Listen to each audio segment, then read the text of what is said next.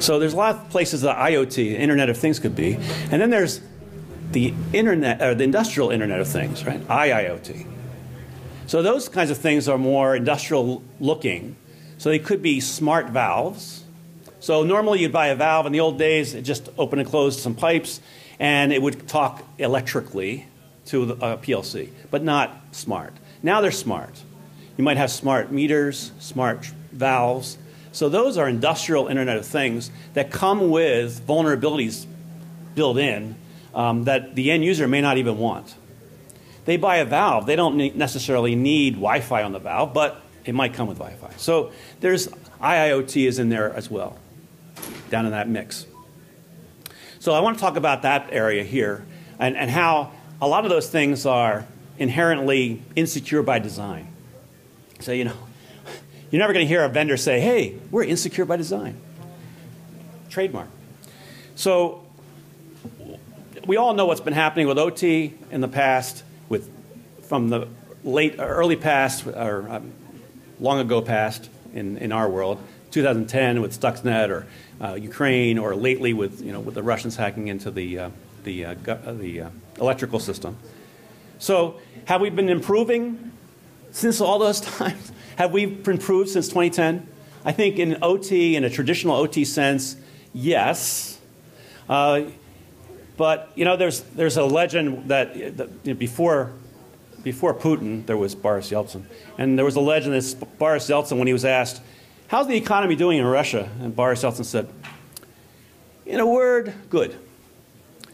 Then he said, "In two words, not good." And that's basically where we are now. It's like there's, we are good, but there's a lot of areas where, where we can improve. And one area where we can really improve is the IoT or IIoT area. You know, that's just the Wild West.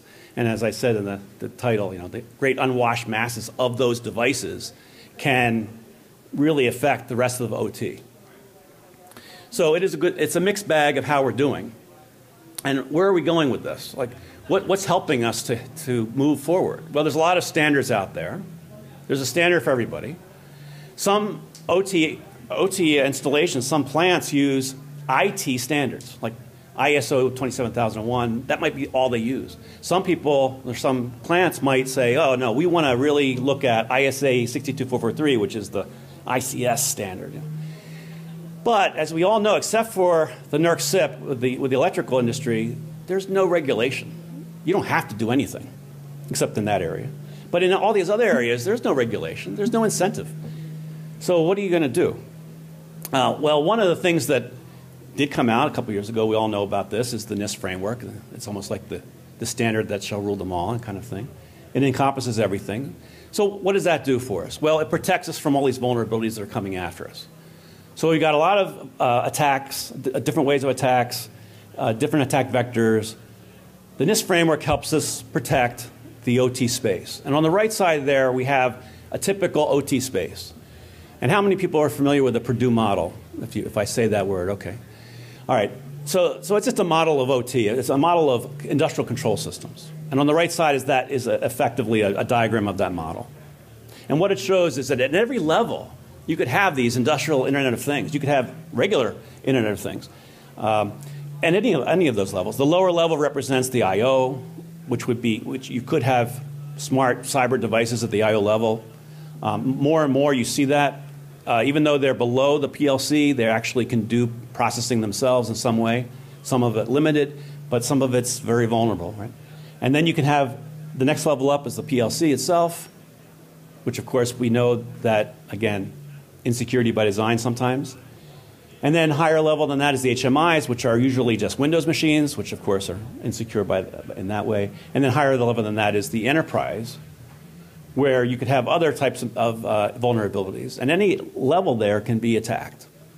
So we need that NIST framework to, to help, or that we, we can use that NIST framework. What we like to do, though, is to say that the, that's not enough. We really want to look at a foundation that supports that framework. So that foundation is what we provide, and one of the things we do is you know, we have these special tools. We can support that NIST framework and anything you need. So in every one of those levels, you know, identify, protect, detect, okay, all of those things have cyber and physical components to them. So for example, for detect, you know, a cyber advanced threat detection would be needed. You know, but for physical, you might have some some special scanning processes with with with, uh, with cameras. And with protect for cyber, you want to protect some OT communication between OT devices. And with, phys with physical, you might have some physical access control. So what we're doing today is I want to talk about one little area, and that is under the protect in cyber, we want to, introduce a way to protect that communication in that area. Okay? So what, what that does is we want to say, okay, you might need the whole thing. It's a, it's a holistic idea, right? We want to do everything. But in, we want to talk about today just one area of that everything. And how do we protect that infrastructure? Uh, well, there's many reasons why we need to. You know, there's insecure ways of, of accessing it. There's lots of vulnerabilities in, in IoT and IIoT devices. Uh, there's instability with regard, regards to uh, communication, so you could brick something with sending certain packets to these devices. There's backdoors to these devices. There's buffer overflows. There's lots of different, you know, 10 years ago, vulnerabilities are now creeping back in because people are using IoT and IoT. So well, the problem is that we have all these devices out there. Smart meters would be a typical thing. Uh, cameras would be another typical thing. There's other things as well that are more like IoT devices that support the, uh, the, the bigger OT.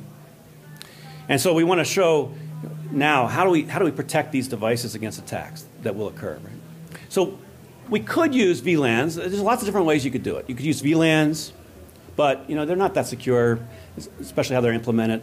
You could use VPN in general, the classic VPN. But we, we want to show a different way of doing it with enclaves and with ways to protect different, different devices using a secure tunnel. So Ben is going to explain a little bit more about how that it goes in a deeper sense. Okay. Ken? Yeah. Okay. So what we're looking at here is uh, on the left is a, a typical IT OT mix uh, on a network. We're doing a, a, a, high level discovery and topology of all devices under under one scan. Um, in the center, what we're doing is identifying the OT devices and pulling those into a secure enclave and removing them from the attack surface of the IT infrastructure. So those are being pulled out and, and separated from IT. So we're in a secure tunnel with our OT devices. OT can't see IT, IT can't see OT. And this boils down to a essentially a closed network operation where we have our OT devices on a, a secure tunnel that are separated from the rest of the IT devices and therefore out of the IT domain. So how could you do this now? How is it typically done in the current environment? Well, VPN is unfortunately probably the best example or or similar concept, um, but there are some, some, fundamental differences with the, the Domain 6 Protect. But with the VPN, um, I think a good example is a, a Cisco uh, VPN with IPsec. Uh, we're going to need at least two Cisco routers, uh, accompanying devices, licenses, power supplies, those types of things, the infrastructure to support it. So uh, power, make sure we have air conditioning requirements in the, in the data center um, configuration utilities, any types of, of higher level um, management uh, infrastructure we'd need for those. And most importantly would be an experienced and certified network engineer to design and configure these to be uh, with security in mind. So we have a, a very secure VPN that's creating a tunnel between these devices. Unfortunately, the biggest problem is with misconfiguration or, or putting the, the time to deployment and the simplicity of the design ahead of the security requirements. And that may be they're not, they don't have the background to understand that these are important or, or worry about those attack surfaces, or it could just be they're being pushed to get this out and when they have end users who are using uh, Windows machines or, or other uh, operating systems with VPN clients to communicate with these devices.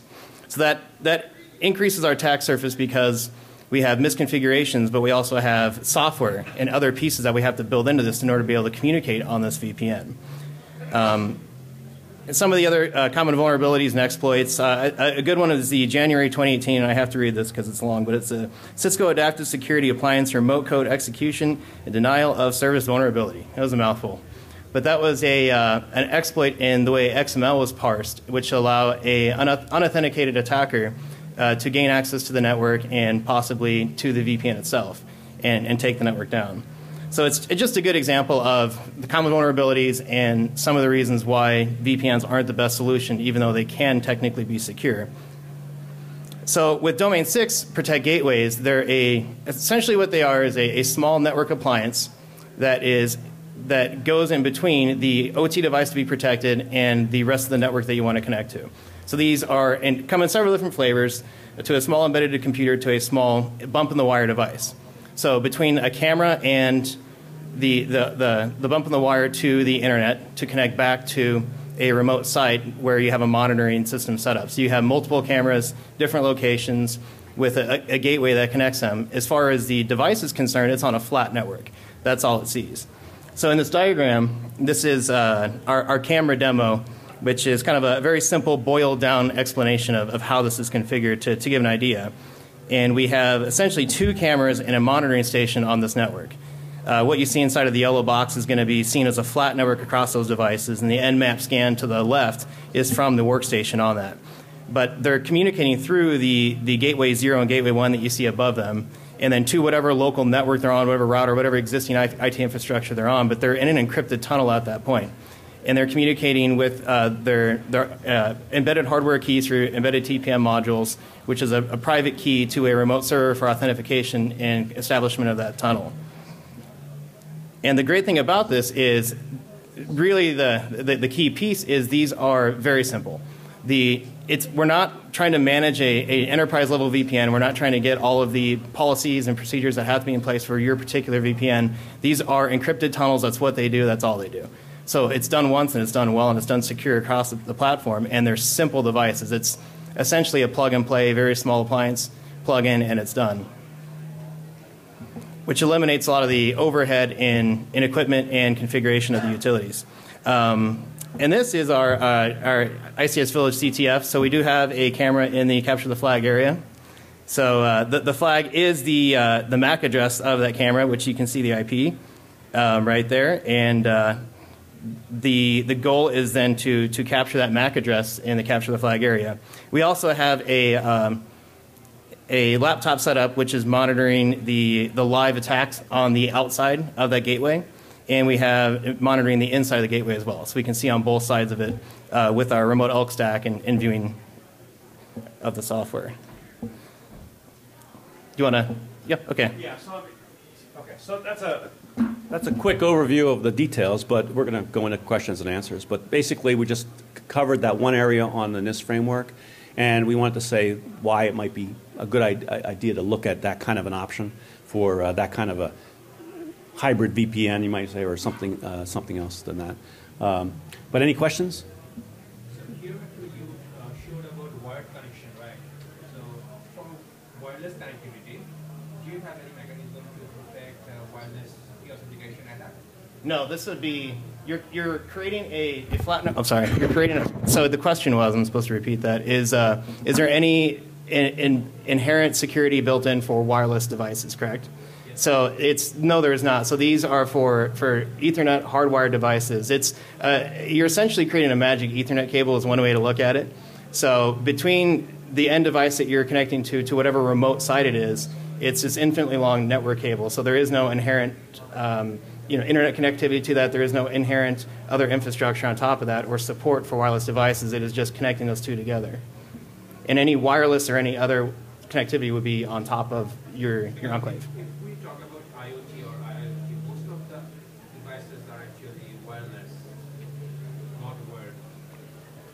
So if you were, um, if you had a wireless access point, say, so you have your, your wireless devices on this, this LAN and your wireless access point, and you need to connect back to a remote uh, uh, server, then you would have that wireless access point connected to the Enclave gateway, then Enclave gateway out. But you're also exposing through the wireless those devices to that gateway on the inside.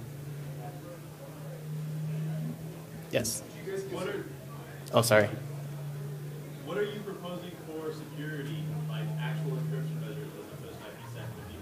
Oh no, I'm sorry. So the uh, the question was, uh, what are the security measures as opposed to IPsec over VPN? So uh, it actually is not IPsec over VPN. That is an explanation, just a similar concept. So the it. Oh, I'm sorry. Oh, okay, yes. So these are uh, they create an encrypted tunnel through the the so they, they have a remote server that has a shared hardware key. So there's a, a TPM module on the device, a crypto key, that is connecting to a remote server for authentication. So there's an encrypted tunnel that's established between the two, and then the data inside of that tunnel is encrypted with layer two, three over layer two. Everybody's trying to ask, what encryption algorithm are you using and how are you doing the key exchange between the two? Oh, I'm sorry. Okay. Um, I may have to ask uh, Christina Phillips here, who is an engineer that has worked on this, for a little more help on that. Okay, so since you asked about the encryption, sorry, I'm Christina Phillips. I work with the Parsons guys. Um, these devices use strong encryption. It, they're current. You can. We've been doing it with 2048-bit. The actual devices were developed. Um, it's a repackage of an IC hardware that's been around for 20 years that's never been hacked. So the thing is, the key exchange is done by the secure bridge environment that's could be on-prem or off-prem, and the encryption is actually put onto a USB I key. It's not a hard drive. It's just a USB I key, and that creates the that has all the instructions for the secure tunnel, and then there's a complete key rotation using PFS, um, but at layer two. The initial tunnel is created at layer three, and you know for the negotiation, and then it drops down to layer two. So we're doing MAC to MAC encryption. So whatever IP traffic you throw out on that on that encrypted tunnel is protected. I know that sounds kind of odd, but that's what we do. So are you So we- pursuing- Sorry, following up. Are you pursuing any kind of uh, certification or third-party validation of that methodology? Okay, so this is about the question was about pursuing third-party certification. This hardware is FIPS 140-2 compliant. The original spec developed 20 years ago was actually FIPS 140-2 certified, but it has not been recertified since due to cost issues um, and a lot of changes in the certification process. So it is that. Um, as I said, there is a complete key exchange, and it's there's no, you don't have to put an SSL cert to do this because we don't use SSL, we don't use TLS. Um, but there is an actual encryption when we create the secure policies that gets pushed down. So if I had the hardware set up, I could create tunnels for HVAC in one, door controls in another, and cameras in a third, segregate them all, and pass the traffic, and nobody would see it but encrypted traffic on the outside network. Hopefully that helps you with your question. I'm sorry with your question. I, I, I can't explain all of the pieces because I'm not an encryption expert in terms of designing the, the algorithm for this. Um, but it, it does work. It hasn't been hacked um, in 20 plus years. That I know. Yes, sorry. How scalable is this model? So your example showed two sites connecting. Um, what if I had like 40 sites I want to be connected? It will scale to that.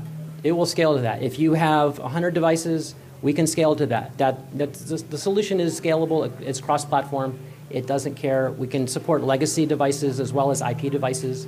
So that's the point. Isn't the tech? The point is that the technology is flexible, and that we can actually provide. And we, it's an alternative to what are considered traditional ways of providing security. Again, VLANs or putting a firewall and segregating. Okay, I've got all my IoT in one environment.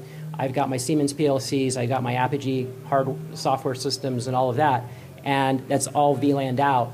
And there's a firewall that segregates everything from my IT environment, and then there's all of that. So we don't have to do that.